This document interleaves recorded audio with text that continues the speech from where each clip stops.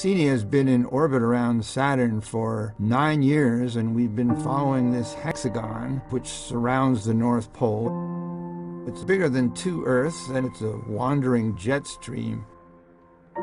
But it's been winter in the north, so we have not been able to see what's at the center of the hexagon. But now it's spring, and what we found at the center of the hexagon is a Saturn hurricane. This is a view from directly over the North Pole, which is made possible by the orbit of the spacecraft, which is now taking us over the poles. The winds are flowing at 300 miles an hour, which is four times hurricane force. The fluffy white clouds in the center are about the size of Texas.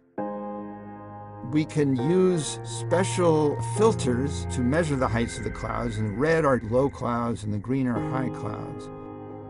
We call it a Saturn hurricane because it has the eye, it has the high winds, but it's different from an Earth hurricane because it's locked to the North Pole. And unlike a terrestrial hurricane, there's no ocean underneath. And uh, that's one of the puzzles we're trying to figure out.